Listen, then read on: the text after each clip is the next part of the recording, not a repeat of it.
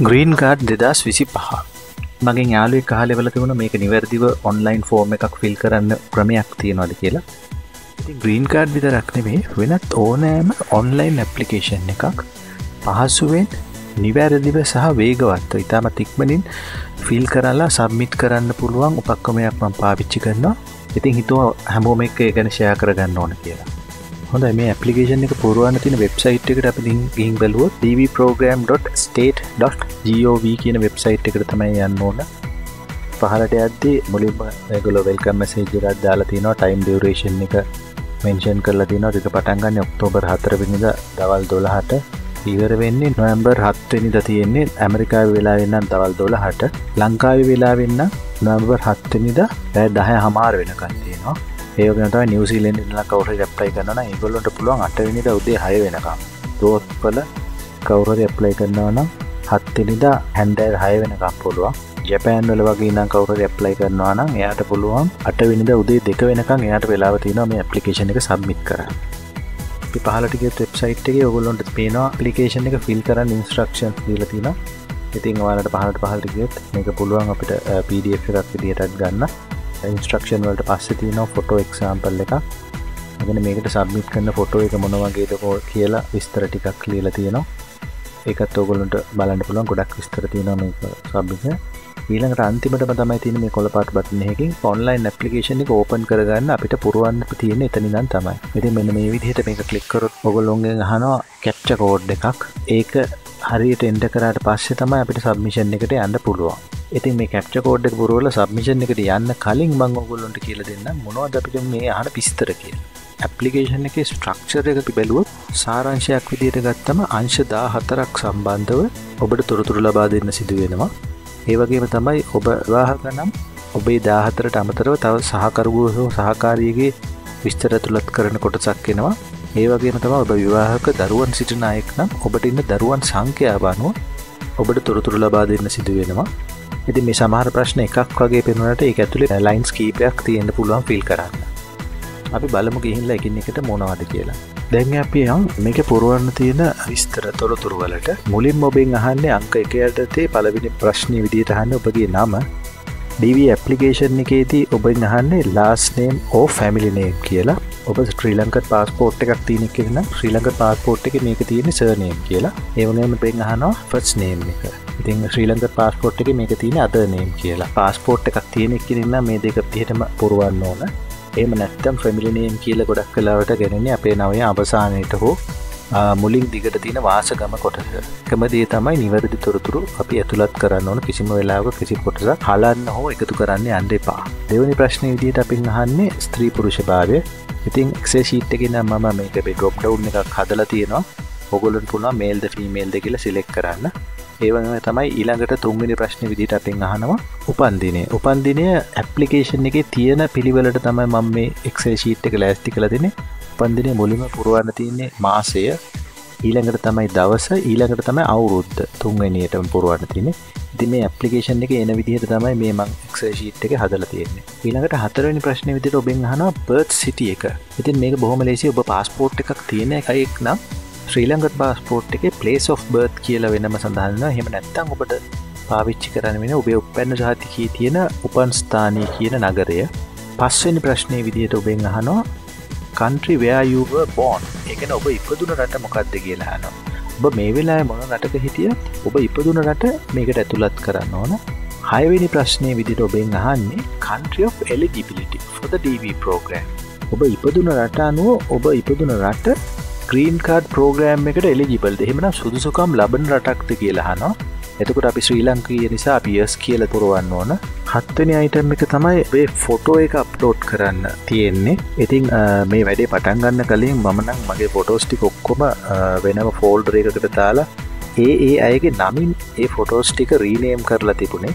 මගේ ෆොට එකන ම ලසන්ත කියලා රීනේම් කරල තිබුණ. එතකට අප්ලෝඩ් කරන්න නොවස්ථාවදි කෙලින් මගේ නමට අදාලා ෆෝටෝ එක තමයි සිලෙක් කරන්න තිය එතකොට එක හරිම ලේසි පහසුයි. වැඩ ඉක්මනින් නිවැරදිව කරන්න. ඉතින් ඔබටත් පුළුවන් වෙනම ෆෝල්ඩරේකට දාලා ඒක ලොකේට් කරලා තියාගන්න ෆෝර්ම් එක පුරුවන්න පටන්ගන්න කලින්. අටවෙනි ප්‍රශ්න විදිහට අයිටම් එක විදිට තම ඔබෙන් අහන්නේ. ඔබගේ ලිපිනය. ඔබගේ නිවසේ අංකය ඊට පස්සේ පාරක් තියෙනවා නම් හෙම ඊට පස්සේ ඔබෙන් අහනවා සිටිය එක ටවුන් එක. දිස්ත්‍රික්කේ නැත්තං පලාත ඔබට දෙන්න පුළුවන්.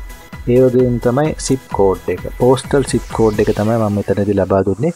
එකන මට ලිපි ලැබෙන ගම තියෙන තැපල් කන්තෝරේ පෝස්ටල් කෝඩ් එක තමයි මම මෙතැන්ට ලබා දුන්නේ. නමවෙනි අයිටම එක නවමිනි ප්‍රශ්න විදි ඔබෙන් අහනවා. ඔබ දැනට ජීවත්වෙන රට මොකක්ද කියලා. ශ්‍රී ලංකාවන්න එකනෙන ශ්‍රී ලංකා කියලා දෙන්න පුළුවන්. හම නැත්තම වෙනත් විදේශක ඉඳං අයිදුම් කරනවා නල්දාල ඉන්න රට දෙන්න පුළුවන්.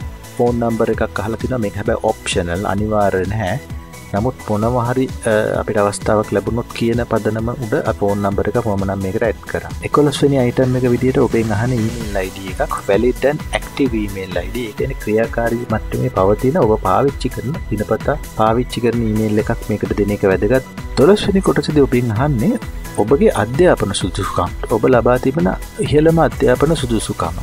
මේක ගැන වැඩි විස්තර ප්‍රමාණයක් වෙන මයි කොටසි මං ලියල තියෙනවා. ඉතින් මේ තියෙන්නේ අධ්‍යාපන සුදුස්කම් සම්බන්ධ ඔබට ලබා දෙන තෝරා ගැනීම් ස්ට එක. දහ තුන්ගනි ප්‍රශ්නතින් ඔබෙන් අහන්නේ ඔබේ විවාහක අවිවාහක පිළිබඳ විස්තරය. ඉති තෝරා ගැනීම් හයක් තියෙනවා. මං මේක ස්ක්‍රීන් ෂොට්ටයකුත් ඇරං තියෙනවා.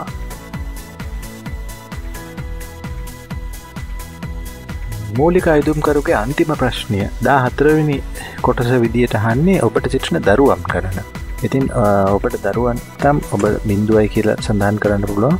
එම නැත්තන් ඔබ විවාහක දරුවන් සිටිනයෙක්ටම් ඒ ඉන්න දරුවන් ගණන මෙතන අංකයක් විදිට ඇතුළත් කරන්න තමයි තියෙන මේ ඇතුළත් කරන අංකය අනුව ඔබට දරුවන්ගේ විස්තර ඉදිරිපත් කිරීම සඳහා අවස්ථාව ඊළඟ කොටස් වලදි ලබා දෙනවා.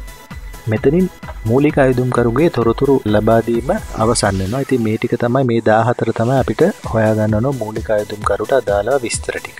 ඊළඟට ඔබට අවස්ථාවනවා පාට්ටුව එකට ඒකන්නේ කටිනිව් කරම ඔපටනවා දෙවනි කොටස. දෙවනි කොටස තමයි ඔබගේ සහකරුගේ හෝ සහකාරයගේ විස්තර හලා තියන්නේ.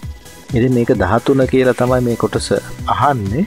එතකොට දහතුන කිවට මේක ලයින්ස් කීපයක් අපට ෆිල් කරන්න තියෙනවා. ඉතින් මෝලික විදිශයෙන් ගත්තම ඔබගේ සහකරුගේ හෝ සහකාරගේ ලාස්නේම් ඕ ෆැමිලිනේම් එක ෆස් නේම් එක. ඉතින් අරමං කලින් කිව්ව විදිහටම පස්පෝට් එක සනේම එකෝ අදනේම එක පස්පොට් ටීනයික් නම් එහම නැත්තං අදාළ විදිහට මේ නම් දෙකල්කට පුෆිල් කරලා තියාගන්නන කොපියන් පේස්ට් කරන්න ලේසි වෙන්න. ඒවගැන් තමයි පන්දිනය හනවා ඒ ඊළඟට ඔබේ සහකරහෝ සහකරේ මේල්ද ෆීමේල්ද කියන එක ගැහැනු පිරිමි බවහල තියෙන එකටත් ඔබට පුළුවන් දාල විදිට උත්තරයක් තෝරන්න. ඊළඟට අහනවා පන්ස්ථානය ඉතින් අර අර කිව්ව වගේම පස්පෝට් එක තියෙනවන පස්පෝට් එක පලේස් of බර් තියෙනවා. හෙම නැත්තම් උපන්න සාතිකයේ තියෙන විදිහට උපන් ස්ථානය. ඊට පස්සේ පන්රටහනවා ශ්‍රී ලංකාව කියල පුරෝගම් ඊට පස්සේ ඔබගේ සහකරුගේ හොසාකාරයගේ ෆොටෝ එක අප්ලෝඩ් කරන්න තින අර මංස්සලකිවෝගේම වෙනම ලෑස්ති කරල තිල නමට අදාළව අපිට අප්ලෝඩ් කරන්න පුළුවන්. ඉතින් මෙතනින් සහකරුගේ හෝ සහකාරයගේ විස්තර ලබාදීම අවසන්නවා දහ තුන්ගනි ප්‍රශ්නයක ඊළඟට අපි එනවා ඔබට දරුවන් සිටිනවා නම් දරුවන්ගේ විස්තර ඇතුළත් කිරීම කොටට ඉති ම එක්සල් ශීට් ඇත්තම හදල තින ළමයි තුන්දනෙගේ විස්තර ඇතුළත් කරන්න පුළුවන් වෙන්න. ඉතින් අපි මේ ෆෝර්මක පුරුවන්න පටන්ගන්න කලින් ඔපගේ ඉන්න ළමයි ගාන අනුව මේකේ විස්තර පුරුවල තියාගන්න පුළුව මොනවද මේ ළමයින්ගේ අහන විස්තර ළමයිගෙන අහන විස්තර? මුලින් කතා කරාවගේ නම ලාස්නේම් ඇන් ෆස්නේ මුල් ළමයි. මිඩල් නේම් එකක් අපිට තියෙනවනම් අපි පාවිච්චි කරනවනම් පුරුවන්න පුළුවන් නැත්තං නෝ මිඩල් නේම් කියලා පුරුවන්නත් පුළුවන්. බේ දරුවාගේ පන්දිනය ගැහැනු පිරිමි බව උපන් නගරය උපන් රට සහ ෆොටෝ එක. මීටික අප්ලෝඩ් කරන්න හනෝ මේ විදියට ගෑනු පිරිබව ම මේක ඩොප් ඩවන් දාලද නොබට පුුවන් ලේසිීම මේක සිලෙක් කල තියාගන්න. ඉති මේ විස්තර ඇතුළත් කරන එක්සේ ශීට් එක අපි පහල් ඩිස්ක්‍රපෂන් එක දාලා තියෙන ලින්ක එක ඔගොල්ලොට ඕන කෙනක ඩවන්ලෝඩ් කරගන්න පුළුවන් ්‍රීලි එකලා වෙනස් කරලා ඕලන්ට ඕන විදිහකට මේක ඩේට ටික අපි මේ කතා කරන විදිරට පුරෝගම්.